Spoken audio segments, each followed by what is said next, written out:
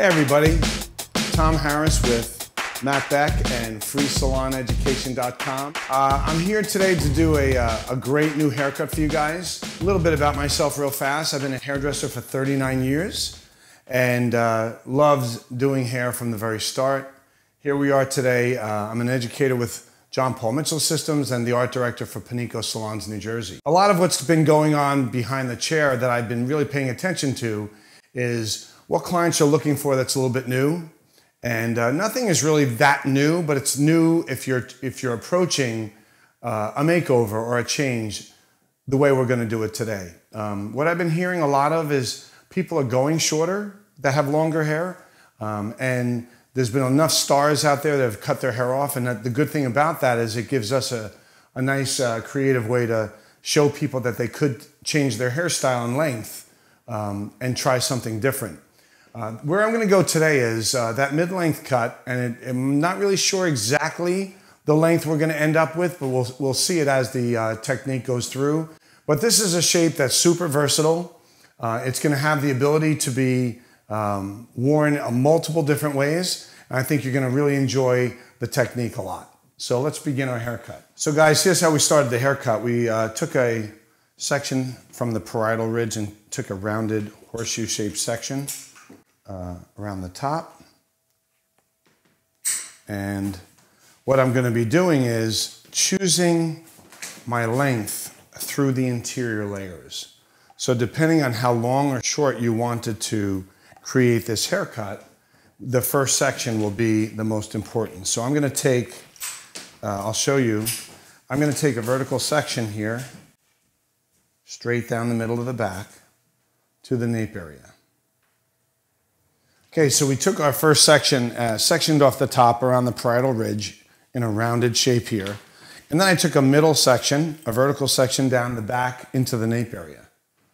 So presently what I'm gonna do is, what you wanna do is you want to, we talked earlier about this haircut being, either it can be very soft and um, kind of a, almost a shaggy type feeling, or at the end of the haircut, we can make this extreme and strong. So depending on where we wanna finish the haircut, um, that's how we'll wait to the end for that. But your first section will determine how long or short your, your, uh, your length will be here. So you can see that this length here being combed out, that will be your, your underneath length. So depending on how long or short I take this, that's how that length will be determined. So we're gonna take a vertical section out at 90, and I'm, I'm looking at about seven inches long. So I'll take as much as my hands can handle, start with my first length. I'm gonna cut straight up, and then include the nape area. So this also gets combed straight out and cut square. So you want to look at that and kind of see what it's doing. You're, releasing, you're releasing the weight on the interior and you can see your length is really soft. So anytime you're out from the head and then you release that hair, uh, when you're cutting it first out from the head and release after the cut is done, you're gonna leave a very soft edge. So all I'm gonna do right now is rotate or pivot to my right using that first initial guide and taking two to one. Straight out.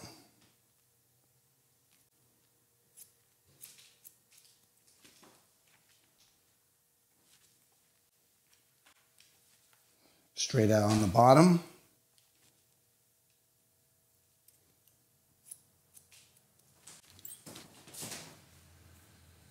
I'm just looking at that shape starting to happen. Okay, three to two.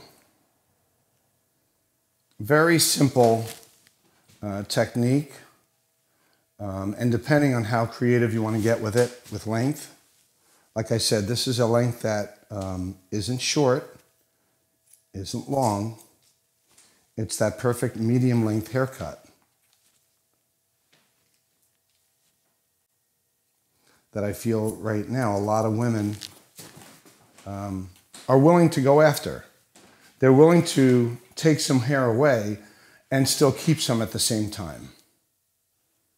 So again, we're going to keep going forward, working my way Right now I'm right by the mastoid process bone. That's directly in back of the ear.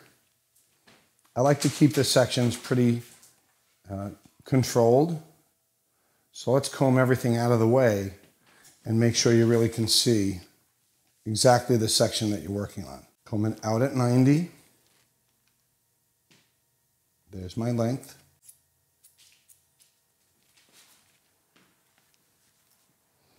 This is all being combed out at 90.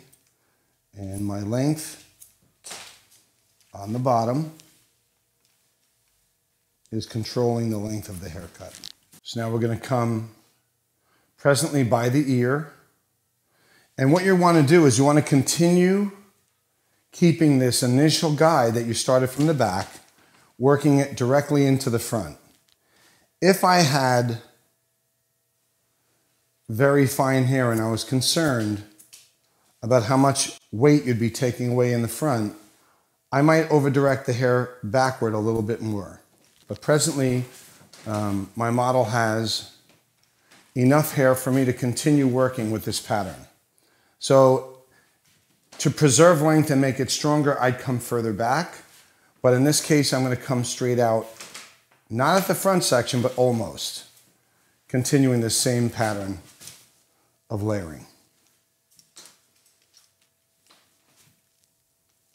So straight out.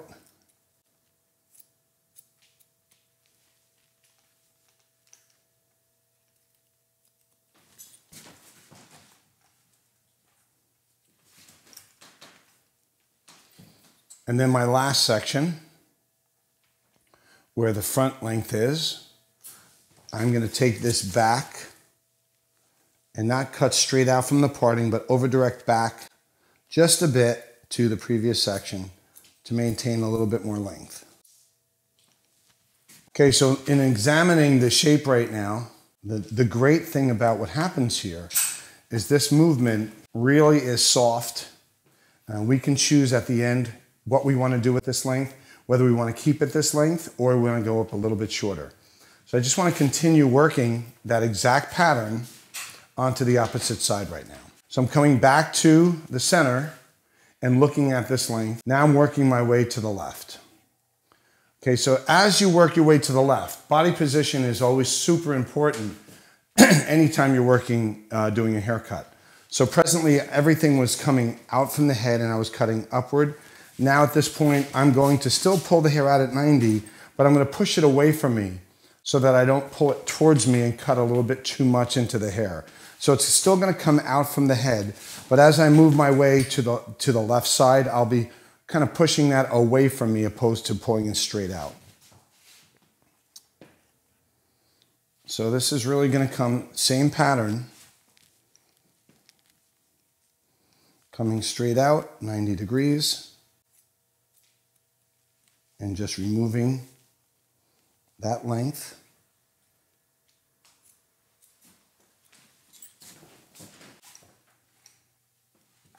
You know, when I'm working, I'm always wondering what the texture of the hair that you're working with is going to produce as you're choosing these lengths and working with the exactness of the texture that you're working on. So it's, it's never a rush. You want to see exactly what the hair is doing. the best thing to do is to take uh, sections that you can truly see how you're developing the shape and you always want to be able to see exactly the length that you're cutting to. So again, straight out.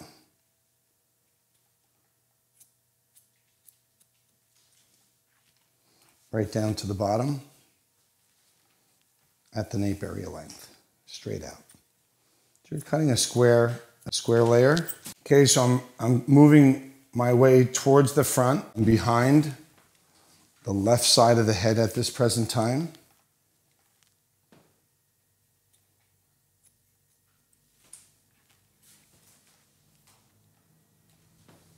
In your last section, you want to push it away and keep it straight right in the center of that section. Behind the ear, presently at the mastoid process area. Keep yourself organized. Keep your sections clean. Comb that out at 90. You want to just check yourself. Check that the head is straight out, straight up in the position.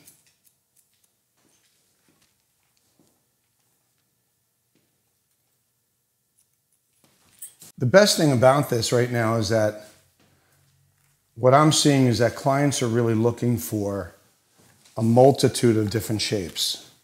And we're doing a lot of geometric shapes that are very strong. And then there's that whole marketplace of people that really don't want geometric shapes. They want to stay soft and moving and very easy to style. Um, so I think that this is a nice combination. You know, you're going to, we don't know exactly the, the finished product here yet. So the good thing is, as this moves along, we can decide at the end where we want this shape to, to stay and what type of shape we want to finish it with.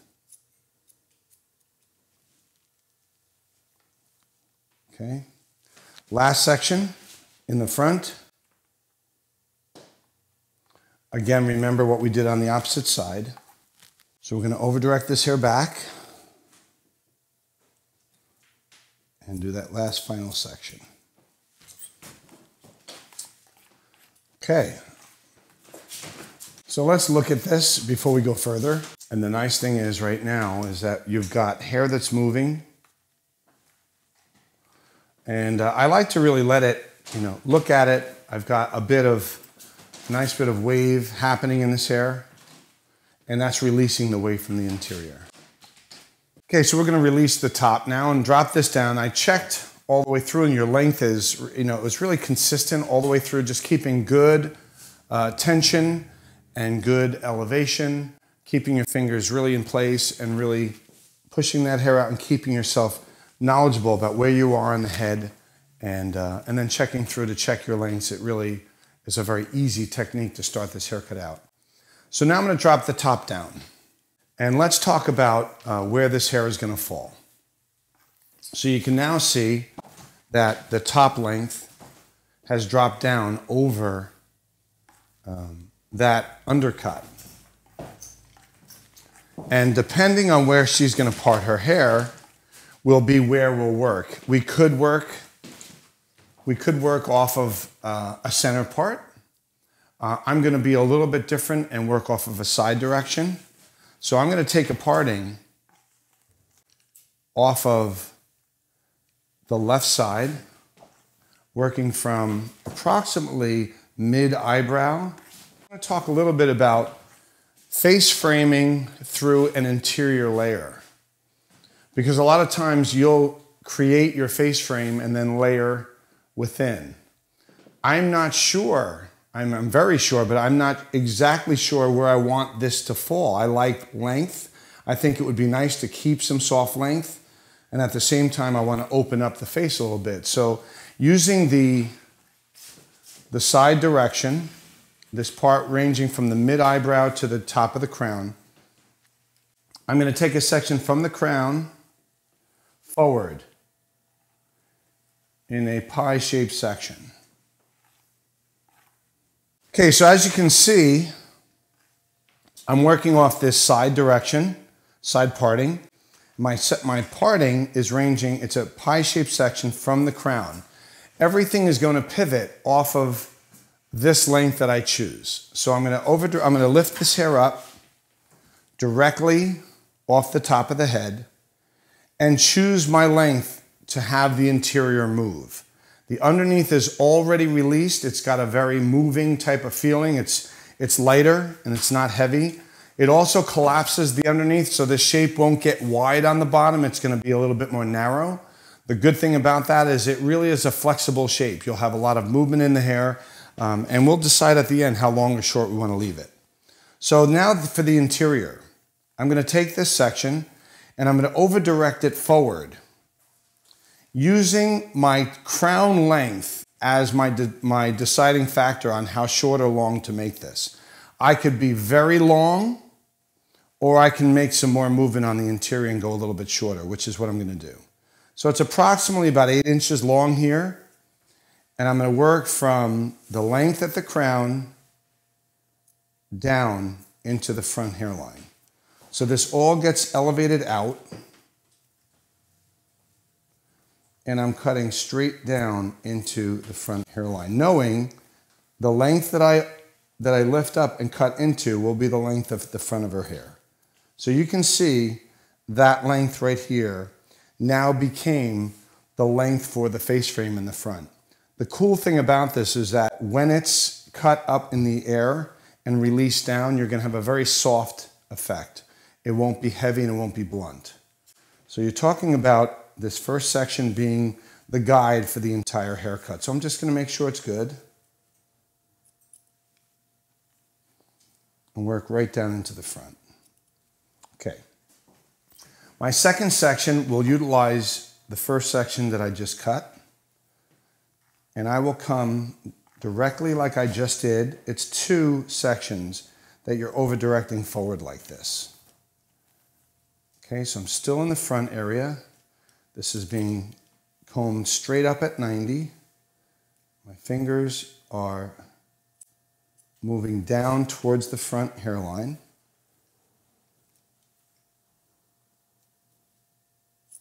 And you can see the whole shape taking place in the front by what you're doing up in the air.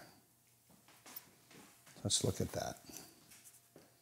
Really nice, really soft. Okay, so the pivot from here moves to the ear area.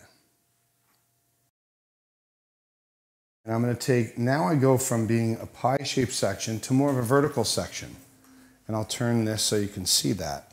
So I'm going to over direct the hair up in the air at 90 again, but not straight up 90. It's really more off the top of the head, straight out from the head. I don't want to lift straight up. That would take too much hair away. I want this to be more coming out from the head. If you use your comb, it'll tell you where to go. And you're going to just cut straight down on that part.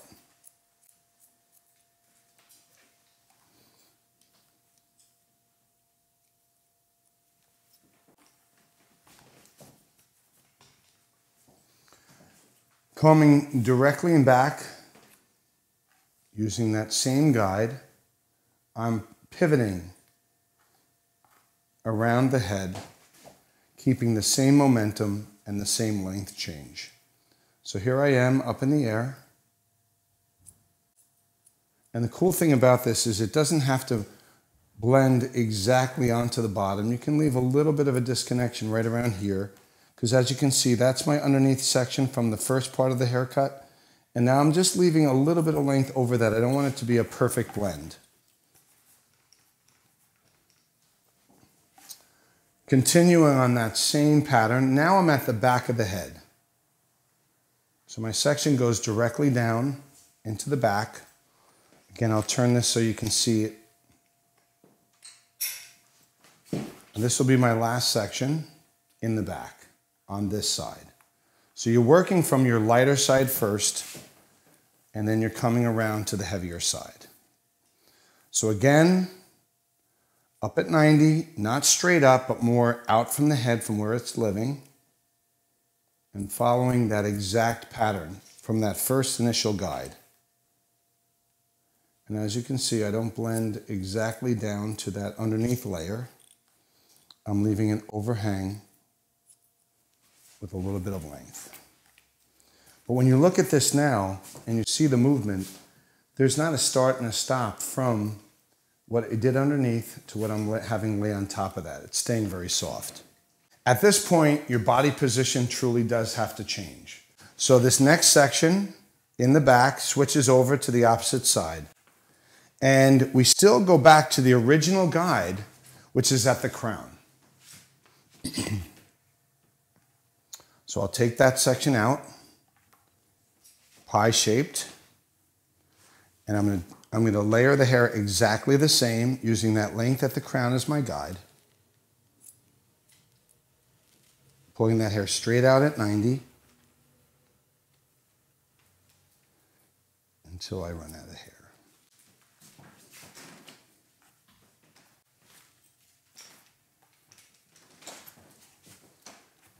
Okay, Working my way towards the front now, I'm utilizing vertical sections in the shape of a pie, coming straight off the crown, finding that initial guide that we started with,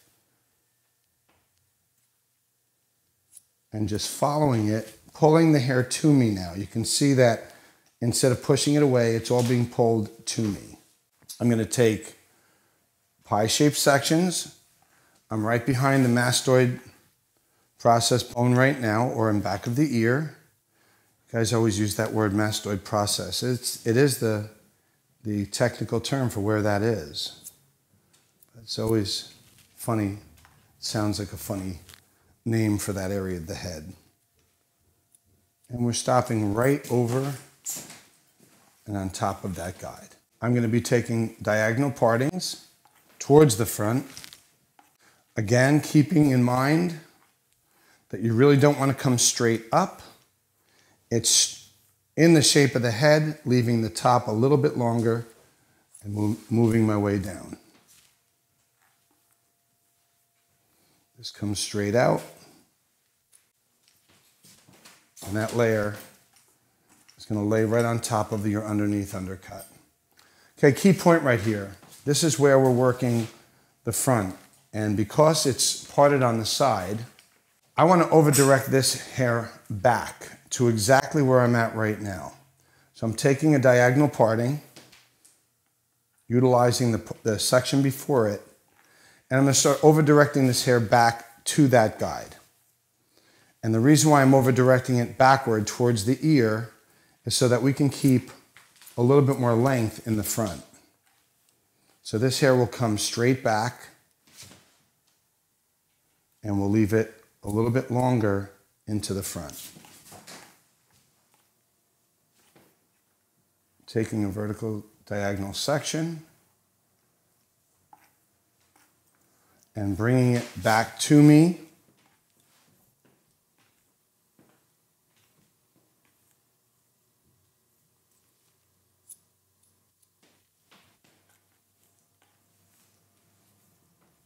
so that we maintain a heavier front. Last section.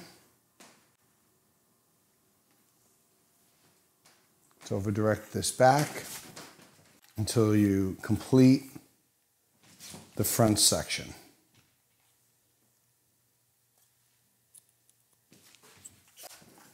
Separate this where it was parted.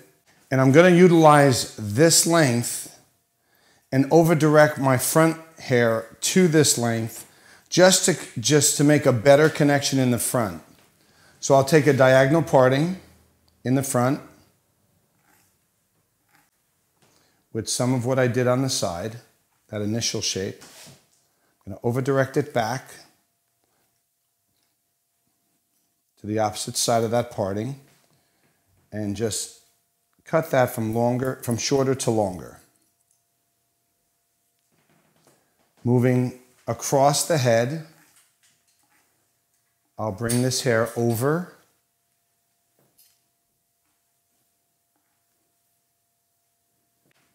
And just finish off that length just to make a nicer connection. It's still going to have lots of length in the front, but the connection will be much better. Right to the corner of the eye, last section for the front.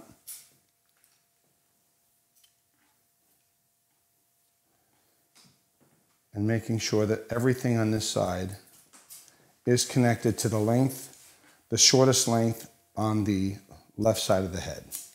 So my last part of this haircut now will be just changing the back length. I'm going to part the hair down the center.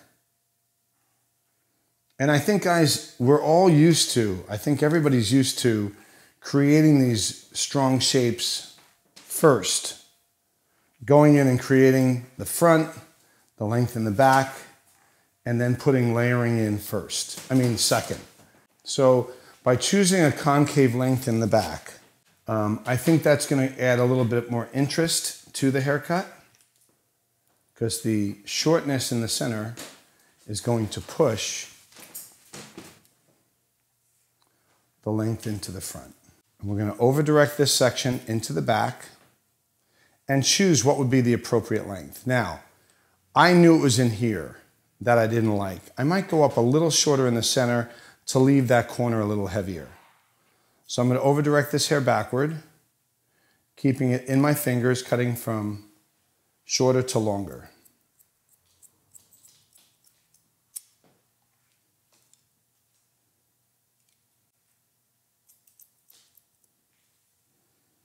Okay, so it's a nicer length, shorter to longer. And now what I'll do is I'll over direct the second side, over directing it to the center, and I'll cut from lower to higher.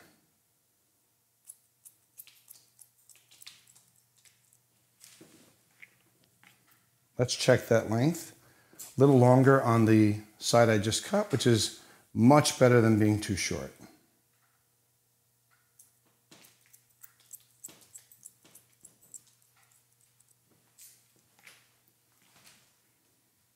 Voila. Okay, so I'll bring another section down.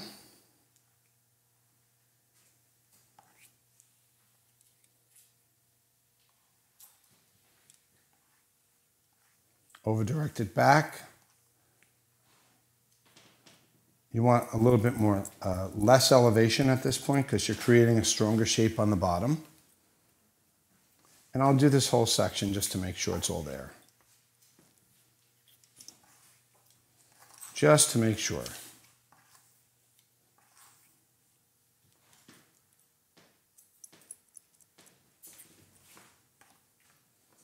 Okay, opposite side.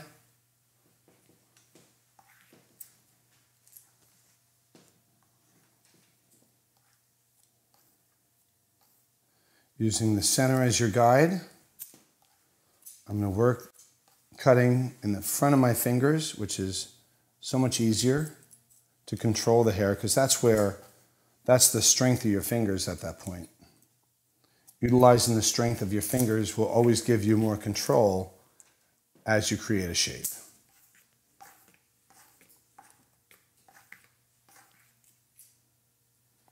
Last section.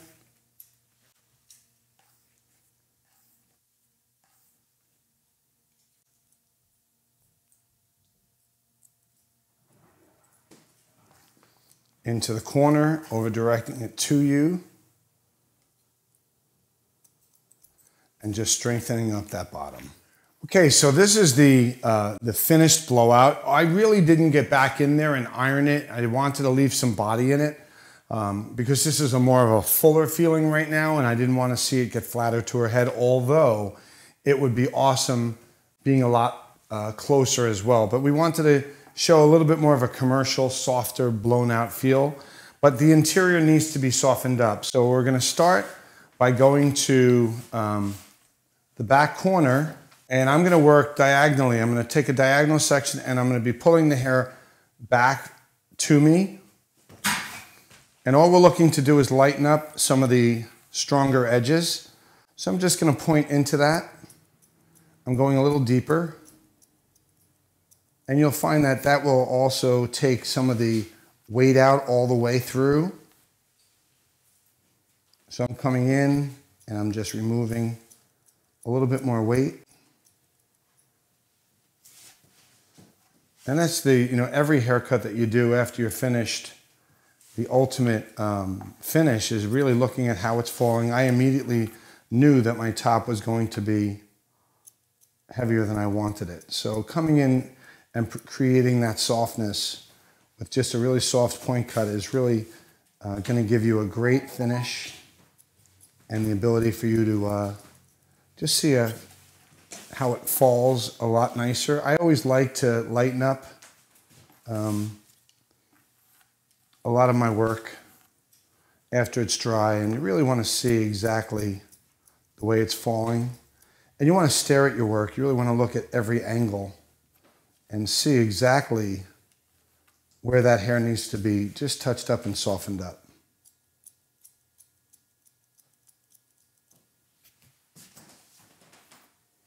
Working my way, working my way right down to the front where I over directed this back, I'll do the same.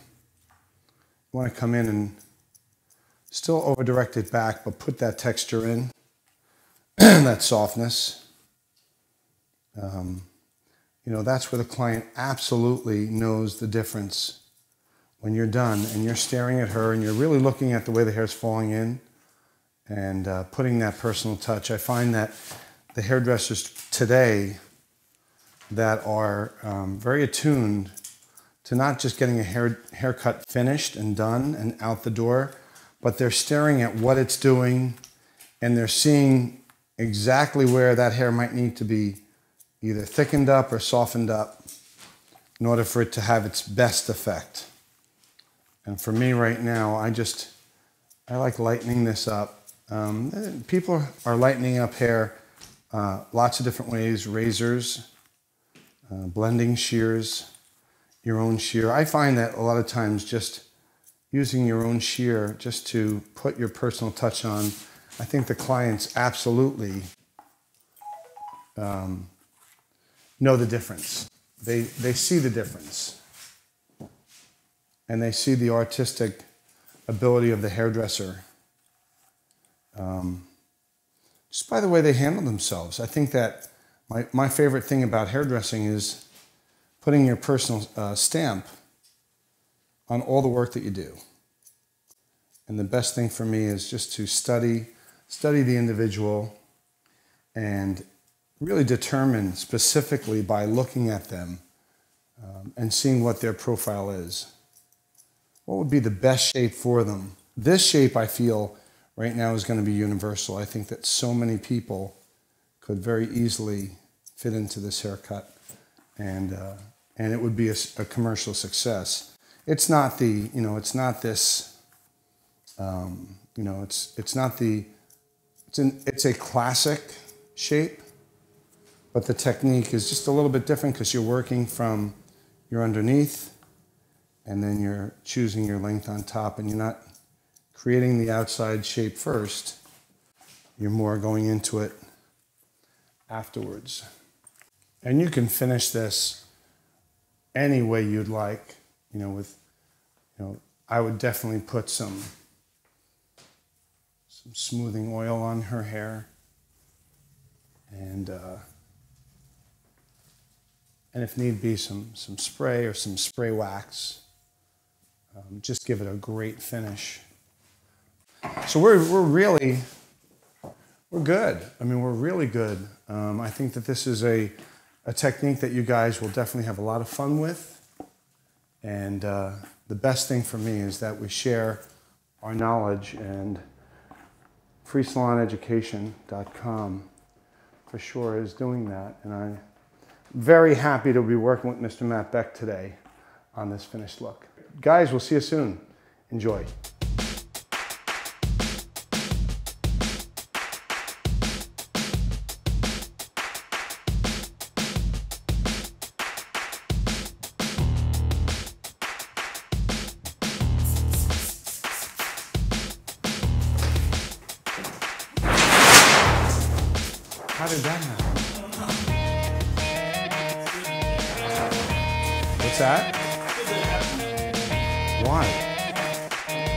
Me stepping on it? I don't even think it was on it.